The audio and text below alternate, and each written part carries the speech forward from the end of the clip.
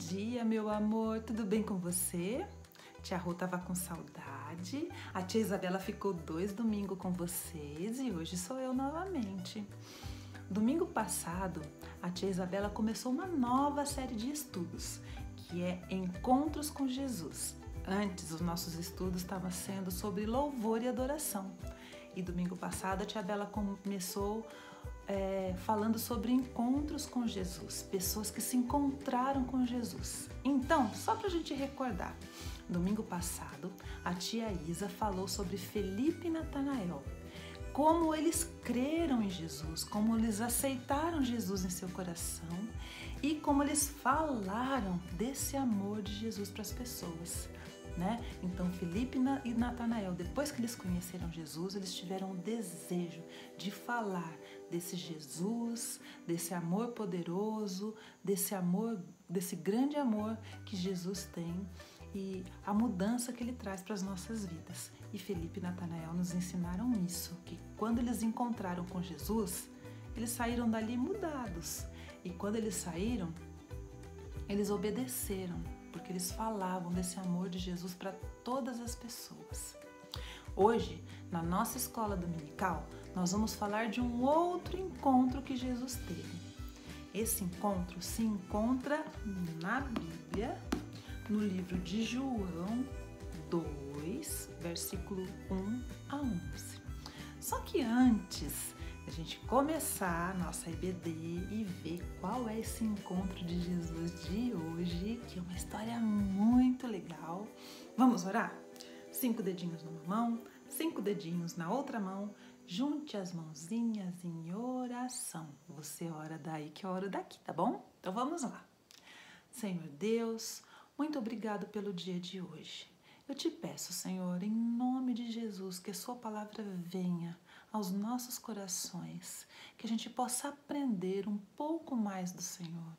Nos ajude, Deus, que a semente da tua palavra venha crescer, venha frutificar e que a gente possa, Senhor, ter a ousadia de falar do Senhor para todas as pessoas que nos cercam.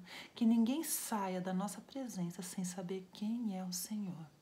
Cuida do domingo de cada criança. Esteja com teu Espírito Santo na casa de cada criança, Deus, em nome de Jesus, dando alegria, paz e saúde e a sua preciosa presença esteja conosco nesse momento de EBD. Em nome de Jesus, amém.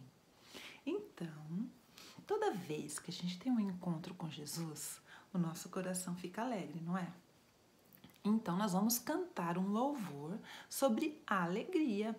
E eu vou colocar esse louvor aqui para vocês. Então, a gente vai cantar esse louvor junto, tá bom? Então, vamos lá. Louvor sobre a alegria, porque toda vez que nós estamos na presença do Senhor, nós precisamos ter alegria. Estejam alegres sempre.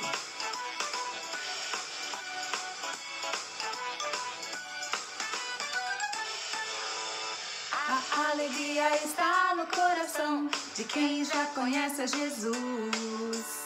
A verdadeira paz só tem aquele que já conhece a Jesus. O sentimento mais precioso que vem do nosso Senhor é o amor que só tem quem já conhece a Jesus. A alegria está no coração de quem já conhece a Jesus. Canta aí! A verdadeira paz só tem aquele que já conhece a Jesus.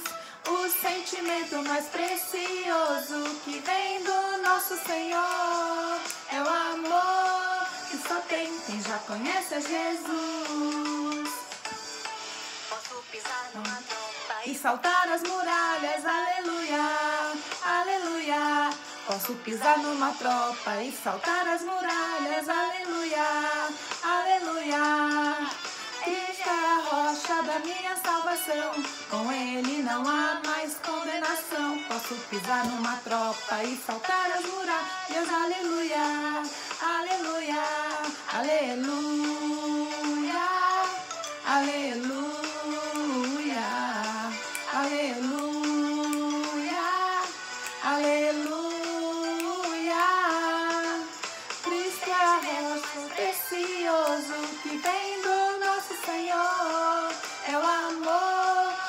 Só tem quem já conhece a Jesus. A alegria está no coração. De quem já conhece a Jesus. A verdadeira paz só tem aquele que já conhece a Jesus. O sentimento mais precioso que vem do nosso Senhor é o amor que só tem quem já conhece a Jesus. E saltar as muralhas, aleluia, aleluia. Posso pisar numa tropa e saltar as muralhas, aleluia, aleluia. Ele é a rocha da minha salvação, com ele não há mais condenação. Posso pisar numa tropa e saltar as muralhas, aleluia, aleluia, aleluia,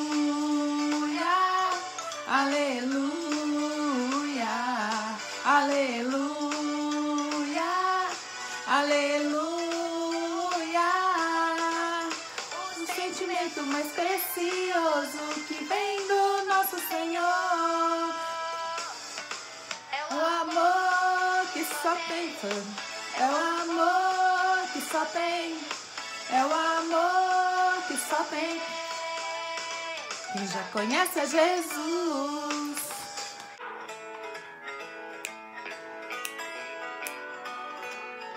Assim eu vou louvar. Vamos louvar ao Senhor com o nosso cântico com a nossa alegria. Vamos lá. Louvar ao Senhor com alegria.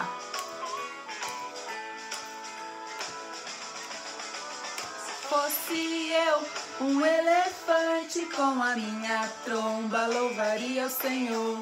Se fosse eu um urso polar, com a minha barriga eu iria louvar.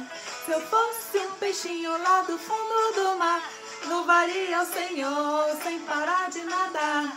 Mas nem elefante, nem urso, nem peixinho eu sou. Mas eu sou o que sou, tenho um coração, um grande sorriso e uma linda canção. Se Deus me fez assim, assim vou louvar. Fosse eu um elefante com a minha tromba, louvaria o Senhor. Se fosse eu um urso polar, com a minha barriga eu iria louvar. Se eu fosse um peixinho lá do fundo do mar, louvaria o Senhor sem parar de nadar. Mas nem elefante, nem urso, nem peixinho eu sou. Mas eu sou o que sou, tenho um coração, um grande sorriso e uma linda canção. Se Deus me fez assim, assim vou louvar.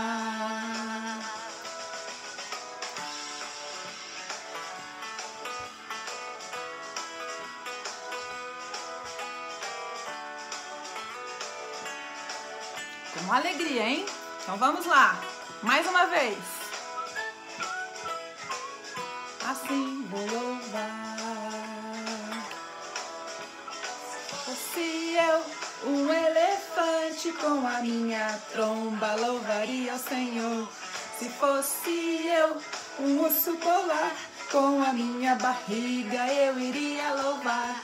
Se eu fosse um peixinho lá do fundo do mar, louvaria o Senhor sem parar de nadar. Mas nem elefante, nem urso, nem peixinho eu sou. Mas eu sou o que sou, tenho um coração, um grande sorriso e uma linda canção. Se Deus me fez assim, assim vou louvar. Se Deus me fez assim, assim vou louvar. Se Deus me fez assim, assim vou louvar. Se Deus me fez assim, assim vou louvar com muita alegria. Agora, O próximo louvor vai falar de satisfação, porque quem tem a alegria de Cristo está com o coração satisfeito e é só uma pessoa que pode deixar o nosso coração satisfeito. Então vamos louvar comigo mais essa canção. Com alegria, hein? Então vamos lá.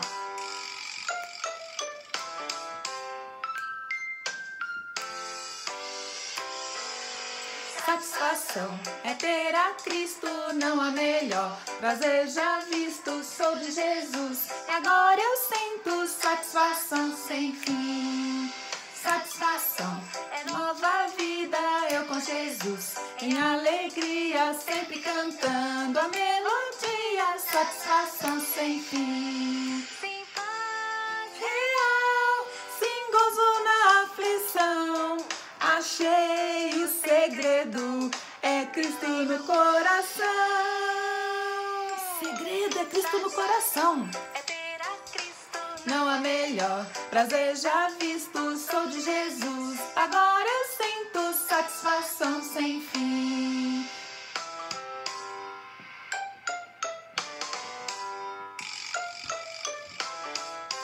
Satisfação é a alegria. Satisfação ter a Cristo, não há melhor. Prazer já visto, sou de Jesus. Agora eu sinto satisfação sem fim. Sim, satisfação é nova vida, eu com Jesus. Em alegria, sempre cantando a melodia. Satisfação sem fim.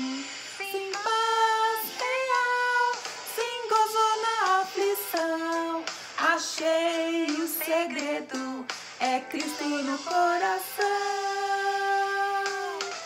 Satisfação É ter a Cristo, há melhor. Prazer já visto, sou de Jesus. Agora eu sinto satisfação sem fim. Satisfação é nova vida, eu com Jesus. Em alegria, sempre cantando a melodia. Satisfação sem fim. Satisfação sem fim.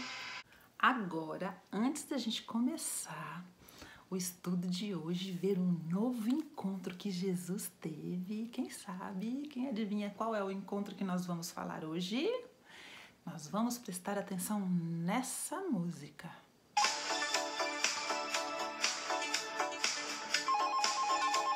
Telefone tocando. Atende lá.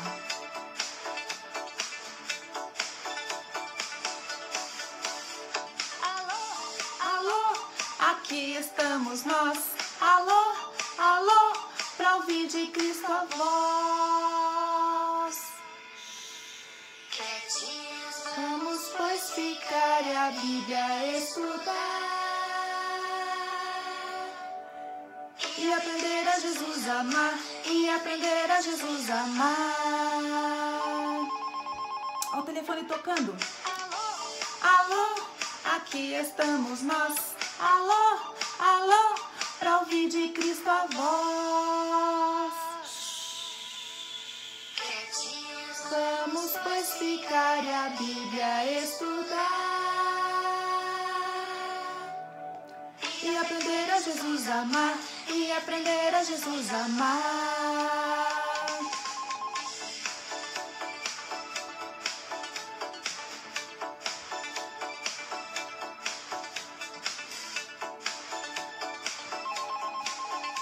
Ó o telefone. alô, Alô, aqui estamos nós. Alô, alô, pra ouvir de Cristo a voz. Quietinhos vamos, pois, ficar e a Bíblia estudar. E aprender a Jesus amar. E aprender a Jesus amar. Então, agora chegou o nosso momento de estudar a Bíblia para o nosso amor, para o nosso Jesus, nosso amor a Jesus crescer, né? A gente só ama quem a gente conhece. Então, hoje nós vamos estudar sobre mais um encontro que Jesus teve. e está na Bíblia. Esse encontro está na Bíblia em João 2, 1, 11. Os sinais e milagres de Jesus foram registrados na Bíblia para que nós pudéssemos, pudéssemos crer em Jesus. Então, a gente sabe de todos os sinais, de todos os milagres, porque eles estão registrados aqui. E foram registrados aqui para que nós pudéssemos crer que em Jesus como Filho de Deus. E através do, da, do, da, da hora que a gente crê, do momento em que a gente crê, que a gente reconhece que Jesus é Filho de Deus, a gente vai obedecê-lo. Quando nós olhamos para uma pessoa, nós podemos ver se essa pessoa está triste, está feliz, está chateada, está com pressa, não é? Então, eu quero que vocês primeiro vejam essa história aqui em João 2, 1. Então, nós vamos ler é, o estudo de hoje, o encontro de Jesus, está registrado em João 2, de 1 a 11. Então vamos fazer a leitura junto comigo. Pega sua Bíblia aí. Dois dias depois, houve um casamento no povoado de Caná, um lugar que chamava Caná, na região da Galileia, e a mãe de Jesus estava ali. Jesus e seus discípulos também tinham sido convidados para o casamento. Quando acabou o vinho, a mãe de Jesus disse: O vinho acabou. Jesus respondeu: Não é preciso que a senhora diga o que eu devo fazer. Ainda não chegou a minha hora. Então ela disse aos empregados: Faça o que ele mandar. Ali perto estavam seis potes de pedra. Em cada um cabiam entre 80 e 120 litros de água. Nossa, isso é muita coisa. Os judeus usavam a água que guardavam nesses potes para suas cerimônias de purificação. Jesus disse aos empregados: Encham de água estes potes, esses potes. E eles o encheram até a boca. E em seguida Jesus mandou: Agora tirem um pouco da água desses potes e levem ao dirigente da festa. E eles levaram. Então, o dirigente da festa provou a água e a água tinha se transformado em vinho. Ele não sabia onde tinha, de onde tinha vindo aquele vinho, mas os empregados sabiam. Por isso, ele chamou o noivo e disse: Todos costumam servir primeiro vinho bom e depois que os convidados já beberam muito, servem vinho comum. Mas você guardou até agora o melhor vinho. Jesus fez esse seu primeiro milagre em Caná da Galileia. Assim, ele revelou sua natureza divina e os seus discípulos creram nele. Olha que história mais linda, o primeiro milagre de Jesus. Então, quando a gente olha para uma pessoa, a gente consegue ver se ela está chateada, se ela está triste, se ela está feliz, se ela está com pressa. Nós vamos ver o que aconteceu nessa festa. Eu vou te mostrar. Só que antes, vamos ler o versículo de hoje? Olha isso. O versículo de hoje é esse aqui, ó. Vamos ler comigo? O Senhor é a minha força, o meu escudo, e nele o meu coração. Ó, eu desenhei um coração. O Senhor é a minha força, o meu escudo, nele o meu coração confia e dele recebo ajuda. O meu coração exulta de alegria e com meu cântico lhe darei graças. Salmo 28, 7. Olha isso. O Senhor é a minha força. Quem me dá força? O Senhor. O Senhor é o meu escudo. O que é escudo? É aquela proteção, não é? Quando, você, quando a gente assiste filmes de guerra, os soldados se protegem com escudo. Então, o meu escudo e a minha força é o Senhor. Nele, o meu coração confia e dele recebo ajuda. Então, o Senhor é a minha força, é o meu escudo, o meu coração confia no Senhor e eu recebo ajuda. Meu coração exulta, exulta, que fica muito feliz. O meu coração exulta de alegria. O meu coração fica muito feliz. Olha a carinha que eu fiz aqui, ó. O meu coração exulta de alegria, porque ele me protege.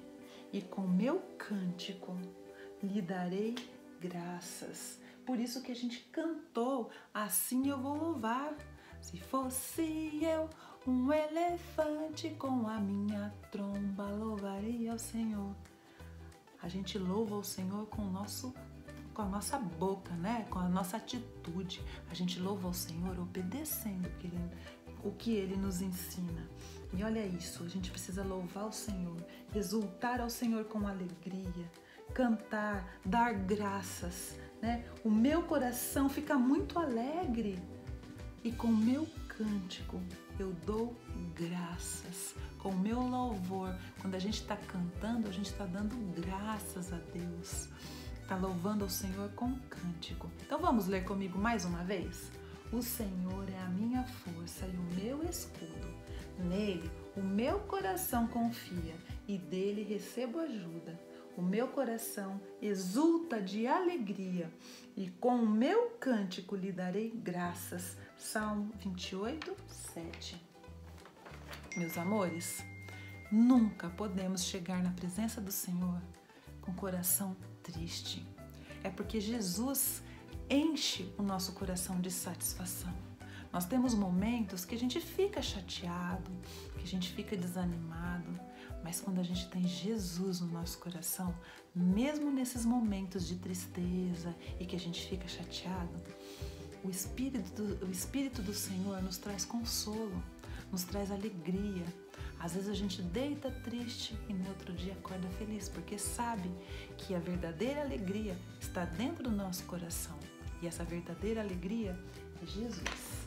Então, quando a gente vai numa festa, a gente pode ver várias expressões, né? E Jesus, nós vimos na nossa leitura de hoje, na leitura da Bíblia, que Jesus estava onde mesmo?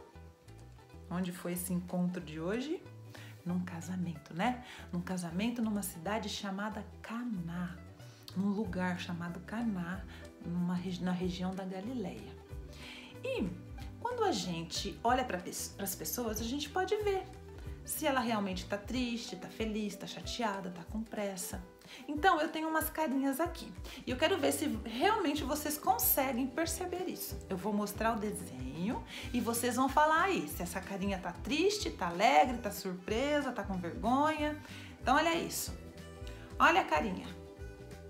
Quero ver se você sabe falar para mim como que tá essa carinha. Hum? Vocês sabem me dizer? Como que é essa carinha? É uma carinha alegre. Olha a boquinha, olha o olhinho. A gente vê alegria no olhar, né? A boquinha cantando. Uma carinha alegre. Vamos ver essa outra. Vamos ver se você consegue adivinhar. Que carinha que é essa? Oh, pode ser de susto, de surpresa. Oh, quando a gente fica surpreso com alguma coisa. Vocês descobriram que essa carinha é de surpresa? Olha isso, essa carinha da Mila. Lembra da historinha da Mila? E essa carinha? Você consegue achar, é, descobrir que carinha que ela tá com essa aqui, ó? Olha a carinha dela. Ai, meu Deus. Preocupada. Olha isso, uma carinha de preocupação. E essa carinha aqui, ó. Uma cara de zangada, de vergonha. Ai, meu Deus. Vocês já passaram vergonha? Hum, algumas vezes eu já fiquei com vergonha. Vocês já tiveram vergonha em alguma situação que vocês ficaram com vergonha? É muito ruim, né? Fica com vergonha, não é? Agora, imagine uma grande festa. Você chega nessa grande festa então, quando tem grandes festas, as comidas são boas, boas bebidas, boa música. Mas de repente, alguma coisa acontece errado. E as pessoas começam a ficar preocupadas, chateadas. Hum, Hoje eu vou falar para vocês uma história. Essa história que a gente acabou de ler aqui, ó, em João 2. Em João 2, de 1 a 11. Essa história de João 2, de 1 a 11, que Jesus vai a um casamento, eu vou contar para vocês o que aconteceu nessa história. Então, Jesus participou dessa festa e aconteceu uma coisa muito estranha lá. Sabe, nessa época que quando faziam festas, toda vez que tem festa, hoje em dia, às vezes a gente encontra festa grande, festa pequena, né? Tem casamento que nem tem festa hoje. Mas Jesus foi para um acontecimento muito grande. Às vezes, na época de Jesus, as festas duravam dias. Né? É, é, no tempo de Jesus era muito comum ter festa de casamento e essas festas duravam dias, dias, muitos dias. E era um tempo em que a festa de casamento era muito importante. Olha isso, aqui é a festa de casamento. Vocês estão vendo? Eu vou deixar aqui para vocês verem. Enquanto isso, eu vou falando o que aconteceu. Olha isso. Certa vez, Jesus foi convidado para uma festa de casamento. Ele aceitou participar e levou alguns de seus discípulos para o lugar da festa, na cidade de Caná. Repita o nome comigo. Como que era o nome da cidade que foi a festa do casamento que Jesus foi? Eu já li com vocês na Bíblia antes. Caná era uma cidade na Galileia. Então vamos lá. Eu vou continuar a história, tá? Na cidade de Caná. Quando eles chegaram, a festa já tinha começado. Maria, que tá aqui, ó. Maria, a mãe de Jesus, também estava lá. Certamente ela estava muito feliz, mas depois de um tempo, ó, ela estava muito feliz, todo mundo feliz, mas depois de um tempo, hum, ela ficou, ó, preocupada. O que será que aconteceu? Uhum, isso mesmo, ela ficou muito preocupada. Aconteceu um problemão. Ó, todo mundo tomando vinho aqui, ó. Tem mais gente tomando vinho, mais gente tomando vinho. Olha a noiva, o noivo. O vinho havia acabado. Sabe de uma coisa? O vinho não era só uma bebida. O vinho simbolizava na época a alegria. O vinho simbolizava alegria e sem ele a festa ia acabar. E os noivos hum, hum, ia passar a maior vergonha. Eles iam ficar com muita vergonha. Eles seriam desprezados e as pessoas iam fazer piadinha com eles. Ai, você viu aquela festa? Acabou o vinho no meio da festa. E as pessoas queriam fazer, iam fazer piadinha. Ao perceber o problema, Maria, a mãe de Jesus, tentou ajudar. Daí, olha o que ela fez. Ela chamou Jesus. Será que ela esperava que Jesus ia fazer algum milagre? Será que ela achou que Jesus ia fazer um milagre? Na hora do desespero, ela chamou a pessoa certa, não foi não? Ela chamou Jesus. Olha isso, acabou o vinho. Ela correu para a pessoa que ela achou que podia ajudar ela. Olha isso. Será que ela esperava que Jesus ia fazer algum milagre? Até aquele momento, até esse momento do casamento, Jesus ainda não tinha feito nenhum milagre. A Maria não tinha visto nenhum milagre de Jesus ainda. Maria esperava que de alguma maneira Jesus pudesse ajudar. De alguma maneira Jesus pudesse resolver o problema dos noivos que estavam ali festejando o casamento. A Maria achou que Jesus pudesse ajudar os noivos, para eles não passarem vergonha, né? Porque já pensou? Que chato seria passar vergonha, acabar a bebida no meio da festa. E a Maria foi conversar com Jesus. Ó, vamos relembrar o que foi que Jesus disse para ela? Ó, lá no versículo 4, Jesus disse assim, ó: de João 2,4. Olha o que Jesus falou para Maria. Respondeu Jesus: Não é preciso que a senhora diga o que eu devo fazer. Ainda não chegou a minha hora. Nossa, mas Jesus falou assim com a mãe dele? Não é preciso que a senhora diga o que eu devo fazer. Parece que Jesus estava sendo mal educado. Ele parece que ele respondeu mal para sua mãe. Será? Não, mas não é nada disso. Nessa época, é, era o jeito que eles tinham de falar. Eles falavam assim mesmo, eles chamavam as pessoas desse jeito. Não é? Naquela época, o termo mulher, você não precisa falar o que eu, que eu tenho que fazer. É a mesma coisa que estivesse falando assim, uma senhora não precisa dizer o que eu preciso fazer. Maria entendeu bem o que Jesus disse. Ela sabia que Jesus não estava sendo mal educado com ela. Era o jeito de falar na época. Ainda não havia chegado a hora das pessoas ficarem sabendo que Jesus era realmente o Filho de Deus. Mas, então, Jesus chamou os empregados e falou para eles fazer. A Maria chamou os empregados e falou para os empregados fazerem tudo o que Jesus mandasse. Maria falou assim: venham aqui, venham aqui, façam tudo o que ele mandar. Daí a Maria chamou os empregados e Jesus mandou, deu uma ordem. Ali, perto deles, estavam seis potes bem grandes, usados em ocasiões especiais. Aqui fala que é para cerimônia da purificação. Na cerimônia da purificação, eles usavam água. Então, tinham lá muitos potes, ali, seis potes que cabiam muita água e eles usaram essa água que eles usavam nas, na, em ocasiões especiais. Jesus pediu para que enchesse o pote de água.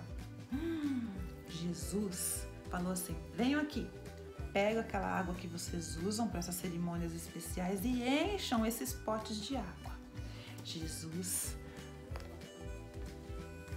pediu para que os empregados trouxessem os potes.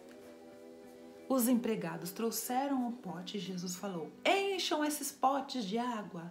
E daí os empregados pegaram o pote de água e colocaram nos jarros que estavam ali e encheu os seis jarros com água. Encheu seis jarros com água. Olha aqui, ó os empregados enchendo seis potes com água. Olha isso. E daí, quando ele mandou, depois Jesus mandou que levassem a água lá para quem estava organizando a festa. E quem estava organizando a festa, olha aqui, ó. Jesus falou assim: depois você vai levar essa água para o chefe que está organizando a festa. Quando essa pessoa que estava organizando a festa foi servir, olha o que aconteceu. Pegou aquele, aquele jarro onde tinha colocado água e ele foi servir a água. E quando foi servir a água, olha o que apareceu! Quando Jesus foi servir a água, não era mais água. A água tinha se transformado em vinho. E daí o organizador da festa experimentou aquele vinho. Ele falou assim: Nossa, que surpresa é essa? Que vinho delicioso! Sim, Jesus transformou a água em vinho. O chefe ficou surpreso. Todo mundo costuma servir primeiro o melhor vinho. Então, na época, eles faziam o seguinte: serviam primeiro o melhor vinho, depois que todo mundo já tinha comido e bebido, que servia o pior vinho. Mas nessa festa você deixou o melhor vinho por último. O melhor vinho da festa foi o vinho que Jesus transformou a água em vinho.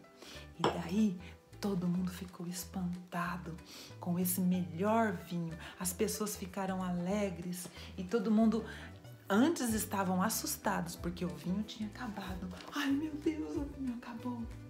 E daí Jesus deu uma ordem, pediu para que trouxessem a água e colocassem a água nos potes. E os empregados começaram a servir. Os chefes da, da festa, quando ele experimentou, não era mais água. A água tinha se transformado em vinho e no melhor vinho, porque tudo que Deus faz, tudo que Jesus faz é o melhor. Tudo que vem das mãos do Senhor vem da melhor maneira. Então, Jesus surpreendeu as pessoas com o melhor vinho nessa festa. Jesus surpreendeu as pessoas com o melhor vinho nessa festa de casamento, né? Geralmente o melhor vinho é servido no começo e o melhor vinho nessa festa foi servido no final, porque veio das mãos de Jesus. Sabe de uma coisa? João, que escreveu essa história, que registrou essa história na Bíblia. E ele chamou essa história, esse milagre que ele mesmo viu e ele participou. Jesus, João deixou registrado para que a gente soubesse disso. Então, esse foi o primeiro milagre, o primeiro sinal de que Jesus é Deus. Esse foi o primeiro milagre de Jesus. Através desse milagre, ele revelou a sua glória e ele fez com que os seus discípulos crescem nele. Através desse milagre de transformar a água em vinho, ele fez com que os seus discípulos crescem nele, que as pessoas que estavam ali e que viram isso crescem nele. Essas pessoas creram que Jesus é Deus, que Jesus é o Filho de Deus. E esse sinal ele mostrou para que nós também pudéssemos crer nele. João deixou isso registrado na palavra. O Messias, o Salvador, que Deus prometeu enviar para nos salvar, para salvar o seu povo do pecado e da morte. O Messias é Jesus, é o prometido de Deus para as nossas vidas. Crer em Jesus é muito mais é, é muito mais do que saber que ele existe. Crer em Jesus é obedecer. Não adianta só saber que ele existe, só falar que eu amo Jesus. Crer em Jesus é obedecer. Quem crê, Jesus, quem crê em Jesus, quem ama Jesus, obedece. Não tem como servir Jesus, meu amor, sem obedecer. Então, e obedecer de todo o coração. E toda vez que a gente obedece de coração, a gente fala dele. Jesus mandou, ele nos ordenou para que falássemos dele para outras pessoas. Então, quando a gente obedece, a gente fala dele para as outras pessoas. Foi o que ele falou para Felipe e Natanael. Não é? Felipe Natanael cumpriu essa ordem, cumpriu essa ordem de falar de Jesus para outras pessoas. Nós também temos que obedecer isso, falar de Jesus para as pessoas, para que essas pessoas também possam crer em Jesus, no Jesus que está registrado aqui na Bíblia. Essa é uma história que João não inventou, não. É uma história que João viu, João participou. João estava nessa festa de casamento. João ficou sabendo disso, desse primeiro milagre. Ficou sabendo que Jesus transformou aquela água em vinho. E isso aconteceu para que nós crescemos nele, que ele realmente é o Filho de Deus. Então, vamos ler mais uma vez o versículo de hoje? O Senhor é a minha força e o meu escudo. Nele o meu coração confia e dele recebo ajuda. O meu coração exulta de alegria e com meu cântico lhe darei graças. Com meu cântico lhe darei graças. Em tudo dai graças, não é? Que o seu domingo seja um dia maravilhoso, um domingo cheio de bênção, um domingo de alegria e que você possa falar do amor de Jesus para as pessoas que te cercam. E mais do que falar, as pessoas têm que ver em você a presença do Espírito Santo. E o segredo é obedecer. Quando é, Jesus nos ensina que a obediência é prova de amor, não é? Então, quando a gente obedece o papai, quando a gente obedece a mamãe, quando a gente ora, quando a gente aprende a palavra, nós estamos obedecendo, não é? A tia Rô vai deixar um link aí da, da historinha de hoje. É, é um vídeo que vai falar sobre isso também, sobre dessa festa de casamento e de, um, de uma menininha de uma página que chama O Mundo de Otávio. Vocês vão gostar muito. E também depois ouçam as músicas que a gente usou hoje no louvor, tá bom? Tchau, meu amor. Um bom domingo. Eu amo você. Fica com Deus, tá?